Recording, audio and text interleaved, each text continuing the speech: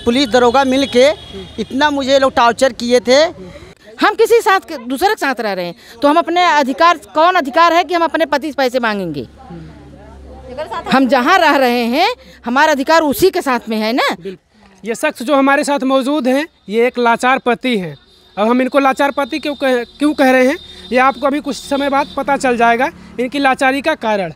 आज से 10 साल पहले इनकी पत्नी इनको छोड़कर किसी और के साथ जा चुकी है यानी भाग चुकी है फरार हो चुकी है।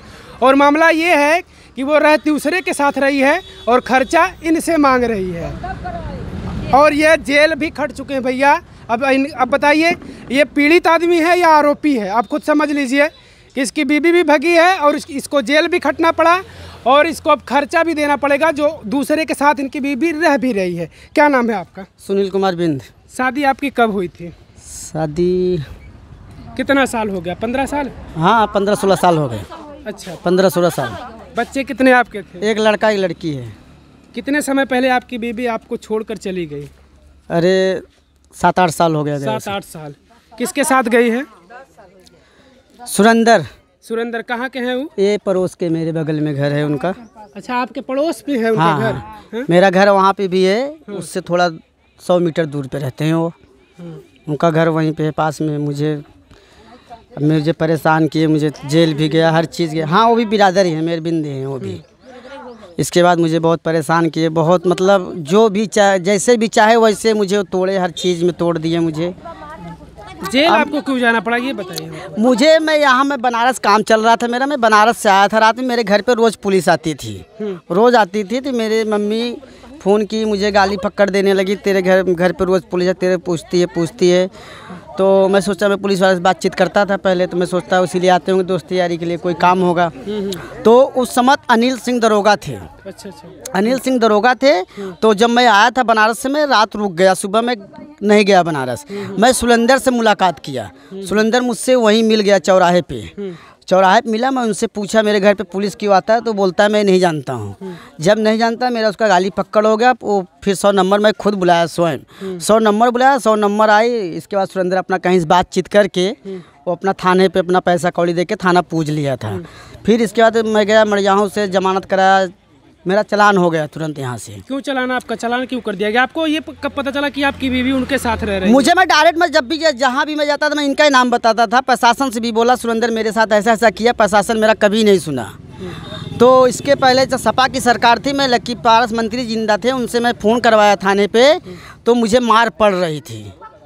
मुझे मार पड़ रही थी, पारस मंत्री मेरे से बात किए थे कि दरोगा को फ़ोन दो। कोई दरोगा पंडित करके था उस समय, उसका ध्यान नहीं है याद। और निषाद दरोगा थे उस समय। कांजीपुर के निषाद दरोगा थे, बिरादर थे, छोटे दरोगा थे और बड़े दरोगा से। और इसके बाद फिर एक मौर्या करके सिपाही थे, इसमें तो यहाँ पे होंगे, मीरगंज थाने में। ये लोग मतलब ये तीनों दरोगा, पुलिस पुलिस दरोगा मिल के इतना मुझे लोग टॉर्चर किए थे कि मैं खुद पागल हो गया था।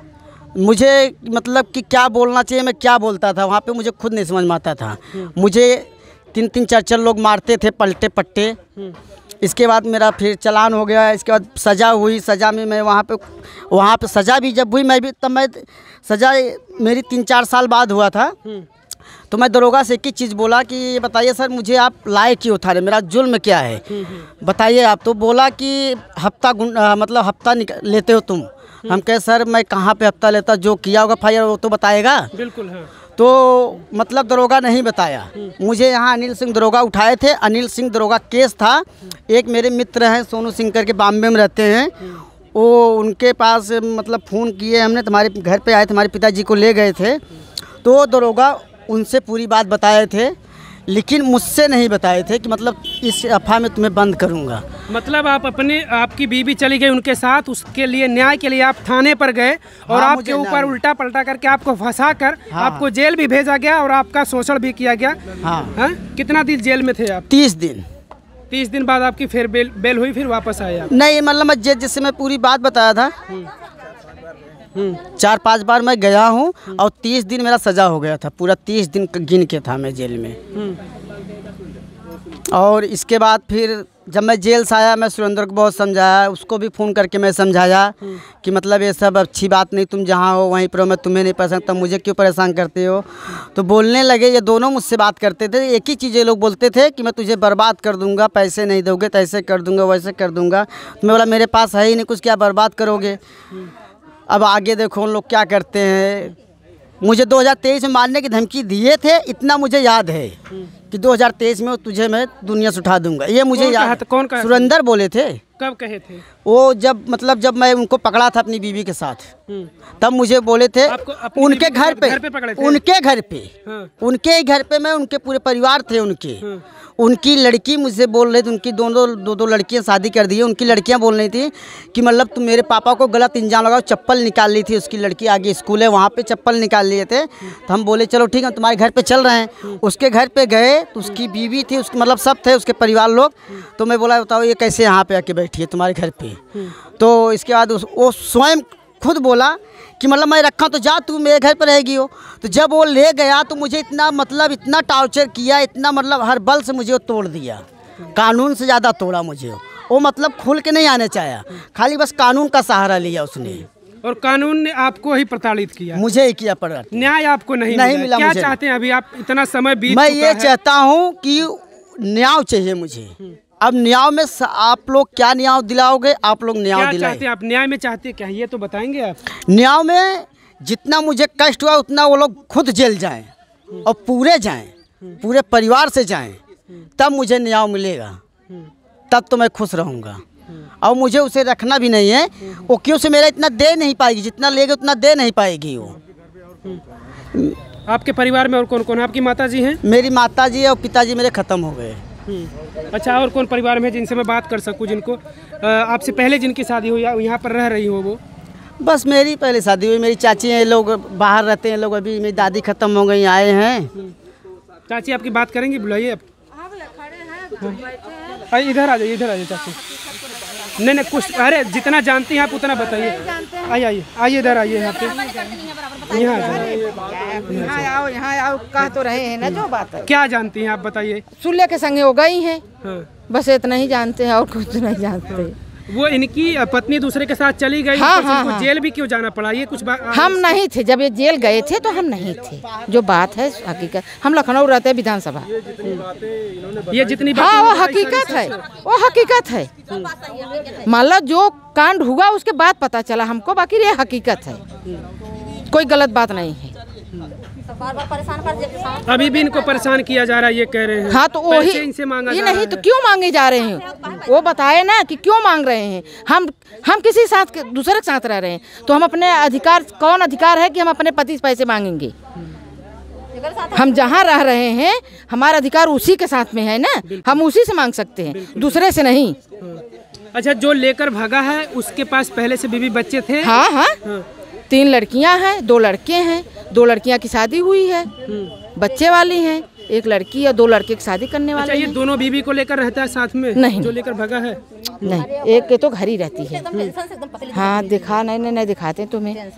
उसके बीवी से पूछो हकीकत बताएगी सारा सामान कमा हाँ और क्या? उसकी बीबी घर ही पे रहती है। घर पर है इसकी बीवी? हम्म, हम्म, हम्म, अच्छा अच्छा। क्या कह रही चाची सुनिए सुन इधर थोड़ा सा आ जाइए तो आप बता रही हैं ना कि उसकी बीबी हर हमेशा रोती रहती है। हाँ? थोड़ा थोड़ा सा बताइए रोती उन, उनकी बीबी जो लेकर भागा उनकी बीबी हाँ? जो लेग भगा है उसकी भी वो तो हमेशा टेंशन में रहती है। जब से किसके रखे है। तो बहुत परेशान है अच्छा अच्छा। रुके रुके रुके आप इनके परिवार से हैं? हाँ हाँ। जो लेकर भागे हैं उनकी बीबी का उन, उनके भी बीबी बच्चे हैं पहले से। हाँ अरे शादी बहुत बड़ी बड़ी लड़की है हमने समरी है लड़की। शादी हुई दोनों के लड़के बच्चे हैं। तो पहले बीबी को कहाँ छोड़ा है? पहले बीबी को लेकर साथ में रहता है? नहीं उसको यहीं घर पे है। अच्छा और इनकी बीबी को कहाँ लेकर है वो? जैसे सूर्यावा है अभी इधर नगो है। अब ये सब मत ब्लॉक का बगल है जो ब्लॉक नहीं है उसके बाजू में है। अच्छा ऐसा लग रहा है कि जब उनके बच्चों की शादी वगैरह होगी तो उनकी उम्र भी ज़्यादा होगी इनसे ज़्यादा होगी हाँ उनकी बहुत ज्या- हाँ उम्र ज़्यादा होगा कम से कम पचास इक्यावन बावन होगा ना। हाँ। इतना होए। पचास साल उम्र है उनकी। हाँ रो हो चाहे। एज है। जो लेके भगा उसको उसकी उम्र उस अरे उम्र बता रहे जो लेकर भगा उनकी उम्र पचास साल तक नाती ने तोरिया हो गए वो लोग जब तब बताओ तो उम्र नहीं होगा। ये देखिए ये हालात है। आइए आइए इधर आइए। पाँच छः बच्चे हैं। जब बात महिलाओं की आती है तो महिलाओं को न्याय दिलाने के लिए महिला आयोग बना है महिला विकास मंच है। तमाम ऐसे संगठन हैं जो महिलाओं को न्याय दिलाते हैं। और जब पुरुष को न्याय चाहिए तो आखिर पुरुष के लिए तो कोई ऐसा संगठन है नहीं। पुरुष आयोग तो है नहीं। और ये जब जाएँगे न्याय के लिए, थाने पर जाएँगे पुलिस प्रशासन से न्याय मांगने के लिए तो इनको प्रताड़ित किया जाएगा, उल्टे इनको जेल भेज दिया जाएगा। ये हालात है, और जिनकी इनकी बीवी को जो लेकर गया है, मैं उनकी बीवी से बातचीत करूँगा। क्योंकि ये लोग बता रहे हैं कि वो बेचारी परेशान रहती है और घर से वो लेकर भगा है और कहीं इसे बाहर इसी तरीके से रहता है। आप लोग बताइएगा, प्रतिक्रिया अपनी ज़रूर दीजिएगा। और मैं बातचीत करूँगा उनकी बीवी से भी जो इनकी बीवी को लेकर भगा है और ये न्याय के स्वरूप में क्या चाहते हैं? एक बार आप बताइए प्रशासन से अब कैमरे के सामने बताइए। प्रशासन मुझे कोई न्याय नहीं दिया। अभी तक तो मैं जैसे भी हूँ अच्छा खराब मैं झेल रहा हूँ। केस अभी भी चल रहा है केस मैं लड़ रहा हूँ। मेरा भाई भी नहीं था मेरे पिताजी भी नहीं थे सबका नाम लिखा दिया केस चल रहा है। आप लोगों के ऊपर क्यों मुकदमा कराया? मालूम नहीं क्यों किया अब वही बता सकता क्यों किया उससे वो सारे मैं उससे मतलब वो जो विचार है वो कर रहा है उसके सोचे वो खड़ी है कानून भी औरत का ही मानता है। इसलिए कानून भी नहीं सुन रहा है जो भी है जब उसके मैं कुछ अच्छा, बोलता शादी भी कर लिया होगा कोर्ट मैरिज करा अब ये मालूम नहीं है तो वही लोग बता सकते हैं शादी किए क्या किया वो तो वही जान सकता है ना। अब हम लोग को ऐसे कुछ पता चलिए भैया और कुछ भी लोग हैं इन लोगों से दादी बात सही है जो ये बता रहे हैं। हाँ कहाँ के हैं आप? आप चाची पड़ोसी हैं इनकी? नहीं इधर गए हैं अरे तो गाँव के हैं तो पता तो होगा ही जो बता रहे हैं सब सही है। सुनो हम जान रहे हैं कि गई थी लेकिन नहीं मालूम कि किस लिए गई थी किस लिए नहीं गई थी। ये जानते हैं कि हाँ यहाँ से भाग गई। लेकिन रह रही है उन्हीं के साथ? उसी के साथ रह रही आज सात साल से। हाँ आँखें देखे नहीं थे। ये जानते थे कि घर छोड़ दी थी मालूम नहीं कहाँ रहती थी। नहीं देखे थे। अच्छा ये लोग तो ये तो पता रहा होगा आप लोगों की कि उन्हीं के साथ गई है। नहीं हमको देखो साथों साथ में मैंने नहीं देखा था अच्छा, अच्छा। कि कि उसके साथ रही है किसी और के साथ लेकिन गई थी। ये मतलब दूसरे दूसरे मैं सुन रही थी कि हाँ कि उसी साथ है लेकिन आँखें मैंने नहीं देखी थी। आज सात साल से वो दर दर भटक रहे हैं। न्याय के लिए शासन प्रशासन के सामने जाते हैं तो वो उल्टा इनको ही जेल भेज दिया जाता है। अब आखिर किस मामले में इनको जेल भेजा जाता है, किस मामले में इनके ऊपर मुकदमा होता है, ये तो शासन प्रशासन से ही जानकारी मिलने के बाद पता चल पाएगा। लेकिन आप लोग क्या कहेंगे? कि भाई एक पुरुष को, एक मर्द को कैसे न्याय मिलेगा? कौन सा आयोग है जो इनको न्याय दिलवाएगा? महिलाओं को तो महिला आयोग है और तमाम ऐसे महिलाओं का संगठन है जो महिलाओं के हक की बात करती है, लेकिन आखिर इनको कौन न्याय दिलाएगा? आप लोग प्रतिक्रिया ज़रूर दीजिएगा अपना, कमेंट के ज़रिए, कैमरे के पीछे सुनील यादव, देहाती क्रिएटर, जौनपुर।